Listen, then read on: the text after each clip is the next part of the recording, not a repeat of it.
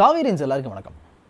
ஒரு பெண் வயதுக்கு வந்துட்டா பூ படைஞ்சிட்டா அவங்களுக்கு இருபத்தி ஏழு நாட்களுக்கு ஒரு முறை மாத விளக்குங்கிறது வரும். அது வந்து இயற்கையினுடைய கட்டாயம். ஆனால் ஒரு அம்மனுக்கு மாத விளக்கு வருதுன்னு சொன்னால் நீங்கள் நம்புவீங்களா?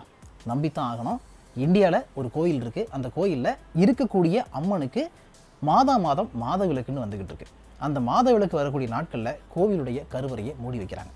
அது எந்த கோயில்? அந்த கோயில் எங்கே இருக்குது அந்த கோயிலுடைய பெயர் என்ன?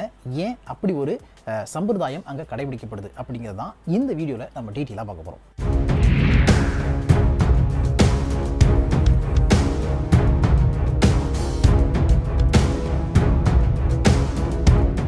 welcome to fine facts with நீங்களா உலகம் முழுக்க பல வினோத சடங்குகள் இருக்குது பல வினோத பழக்க வழக்கங்கள் இருக்குது இந்த மாதிரி நிறைய மதங்களில் நம்ம சொல்லிக்கிட்டே போகலாம் குறிப்பாக இந்து மதம் அப்படின்னு எடுத்துக்கிட்டிங்கன்னா இந்து மதத்துலேயும் நிறைய வித்தியாசமான பழக்க வழக்கங்கள் வினோத பழக்கங்கள் வினோத சடங்குகள்லாம் இருக்குது அந்த வகையில் பார்க்கும்போது அஸ்ஸாம் மாநிலத்தில் உள்ள கவுஹாத்தி நகரில் ஒரு கோயில் இருக்குது அந்த கோயில் தான் காமாக்கியா கோவில் அப்படிங்கிறது.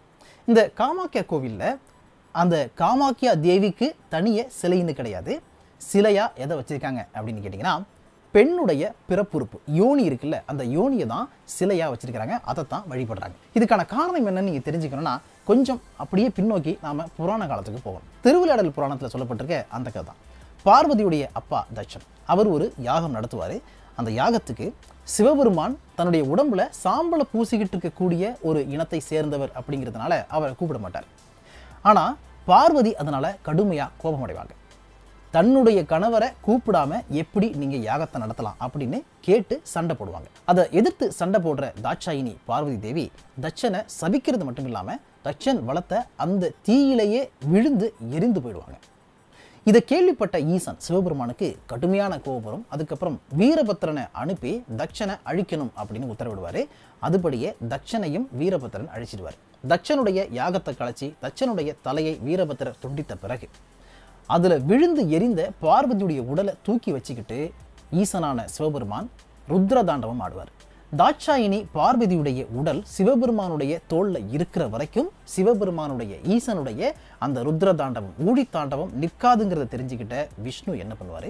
தன்னுடைய சக்கராயுதத்தை ஏவி அந்த பார்வதியுடைய உடலை துண்டு துண்டா ஆக்கிடுவார். விஷ்ணு தன்னோட சக்கராயுதத்தால் ஒரு அட்டாக் பண்ணதும் சிவபெருமானுடைய தோளில் இருந்த பார்வதி தேவியின் உடல் வந்து ஐம்பத்தி ஒரு பாகங்களாக அங்கங்கே சிதறி போயிடும். அந்த ஐம்பத்தி ஒரு பாகங்களும் உலகில் உள்ள வெவ்வேறு இடங்களில் போய் விழுந்துச்சான் ஒவ்வொரு பாகமும் ஒவ்வொரு இடத்துல போய் விழுந்த மாதிரி பார்வதி தேவியினுடைய பிறப்புறுப்பு யோனி பகுதி இருக்குல்ல அந்த யோனி பகுதி அஸ்ஸாம் மாநிலத்தில் உள்ள கௌஹாத்தில் நீலச்சல் மலை அப்படிங்கிற மலையில் போய் விழுந்துச்சான் பார்வதியுடைய யோனி நீலச்சல் மலையில விழுந்த உடனே அந்த மலையே நீல நிறமா மாறி போச்சு அப்படின்னு சொல்றாங்க. அதனால தான் அந்த மலைக்கே நீலச்சல் மலைன்னு பெயர் வந்ததாகவும் ஒரு குறிப்பு இருக்கு. ஐம்பத்தி ஒரு துண்டுகளாக உடல் பாகங்கள் சிதறி விழுந்த ஒவ்வொரு இடத்தையுமே ஐம்பத்தி ஒரு சக்தி பீடங்கள் அப்படின்னு சொல்லுவாங்க. அந்த ஐம்பத்தி ஒரு சக்தி பீடங்கள்ல பார்வதி தேவியினுடைய யோனி பகுதி விழுந்த அந்த இடத்தை தான் காமாக்கியா தேவி கோவில் அப்படின்னு வழிபடுறதா தலபுராணம் சொல்லுது. அப்படிப்பட்ட அந்த காமாக்கியா கோவிலில் தான் இந்த மாதிரியான வழிபாடுகள் நடந்துகிட்டு இருக்கு. இந்த காமாக்கியா கோவில் எட்டாம் நூற்றாண்டுல கட்டப்பட்டதுன்னு சொல்றாங்க. மலை மேலே இருக்கக்கூடிய இந்த கோவில் இயற்கை எழில் கொஞ்சக்கூடிய அழகோட அமைஞ்சிருக்கு. இந்த கோவிலுடைய திருவிழாங்கிறது ஒவ்வொரு வருடமும் ஜூன் மாதம் இருபத்தி ஒன்று இல்லைனா இருபத்தி ரெண்டாம் தேதி நடக்குது. அதுக்கு அம்புச்சி மேளா அப்படின்னு சொல்றாங்க. அது மட்டும் இல்லாமல் இந்த கோவிலில் ஒவ்வொரு வருடமும் டிசம்பர் மாதத்தில் காமேஸ்வரனுக்கும் காமேஸ்வரிக்கும் திருமணம் நடக்கக்கூடிய நிகழ்வுங்கிறது நடக்குது. அது ரொம்ப வெகு விமர்சையாக கொண்டாடப்படுது. அந்த நிகழ்வில் கலந்துக்கிட்டால் குழந்தை இல்லாத தம்பதிகளுக்கு குழந்தை பிறக்கும் அப்படிங்கிறதும் ஐதீகமாக இருக்குது திருவிழா நடக்கக்கூடிய ஜூன் மாதம் மூன்றாவது வாரத்தில் கோவிலினுடைய கருவறையை அடைச்சிடுறாங்க. ஏன்னா அந்த காமாக்கியா தேவிக்கு அந்த டைமில் வந்து மாதவிலக்கு ஏற்படுது. பீரியட்ஸ் இருக்குது அப்படிங்கிறதுனால அதை யாரும் பார்க்கக்கூடாதுன்னு கருவறையை அடைச்சிடுறாங்க. அந்த மூன்று நாட்களும் காமாக்கிய தேவியை நல்லா கொடுப்பாட்டி சிவப்பு நிற ஆடை அணிவித்து பழங்கள் மாலைகள்லாம் சூடி வணங்குறாங்க. அது மட்டும் இல்லாமல் அந்த மூன்று நாட்களும் சிவப்பு நிற திரவம் கசீராவும் சொல்லப்படுது. மூன்று நாள் கருவறையை சாத்திட்டு நான்காவது நாள் கருவறையை திறக்கும் பொழுது பக்தர்களுக்கு பிரசாதமாக வழங்கக்கூடியதில் முக்கியமான ஒன்றா என்ன இருக்குன்னு பார்த்தீங்கன்னா சிவப்பு நிற நீரை பிரசாதமாக கொடுக்குறாங்க. அதில் அந்த மூன்று நாட்கள் காமாக்கியா தேவி உடுத்தின சிவப்பு நிற ஆடை யாருக்கு கிடைக்குதோ அவங்க மிகப்பெரிய அதிர்ஷ்டசாலி அப்படிங்கிற நம்பிக்கையும் இருக்கு. அதனால அந்த காமாக்கியா தேவி உடுத்தின மூன்று நாட்கள் உடுத்தியிருந்த ஆடை யாருக்கு கிடைக்குங்கிறதுல கடுமையான போட்டி இருக்கு. லட்சக்கணக்கான பக்தர்கள் இந்த திருவிழா டைம்ல அங்க கூடுறாங்க. இதுல இன்னொரு முக்கியமான பாயிண்ட் என்னன்னா எப்படி சில கோவில்களில் மேலாடை இல்லாமல் ஆண்கள் அனுமதிக்கப்படுறாங்களோ சபரிமலை கோயிலில் வந்து பெண்களுக்கு அனுமதி இல்லைன்னு சொல்கிறாங்களோ அதே மாதிரி இந்த கோயிலில் அந்த மூன்று நாட்களில் ஆண்கள் அனுமதிக்கப்படுறது இல்லை.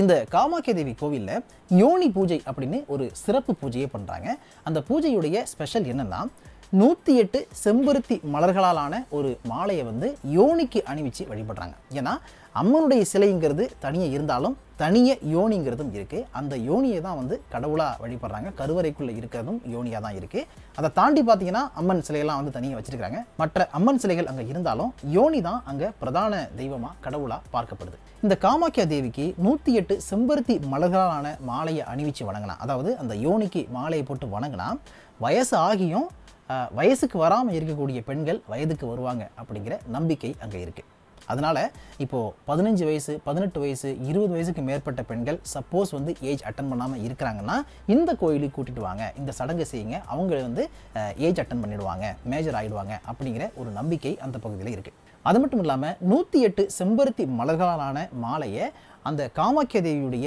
யோனிக்கு அணிவிச்சு வணங்கும் பொழுது யோனியை நினச்சி வணங்கும் பொழுது நீங்கள் நினச்ச காரியம் எல்லாமே கைகூடுங்கிற நம்பிக்கையும் இங்கே இருக்குது திருமணம் நீண்ட நாட்களாக தள்ளி போகிறது. இல்லை திருமணம் ஆகியும் குழந்தை பாக்கியம் இல்லாமல் இருக்கவங்க கூட இங்கே வந்து யோனி பீடத்தை தொட்டு கும்பிட்டு வணங்கிட்டு போகிறாங்க. அப்படி வணங்கினா அவங்களுக்கு சீக்கிரமாக திருமணம் நடக்கும் குழந்தை பாக்கியம் கிடைக்கும் அப்படிங்கிறதும் ஐதீகமாக இருக்குது அந்த மூன்று நாட்களில் அம்மனுடைய கருவறையிலிருந்து வெளிப்படக்கூடிய சிவப்பு நிற திரவம் பிரம்மபுத்திரா ஆற்றில் கலந்து பிரம்மபுத்திரா நதியே கொஞ்சம் சிவப்பாக மாறுறதாகவும் சொல்கிறாங்க பட் இது எந்த அளவுக்கு உண்மை அப்படிங்கிறது தெரியல.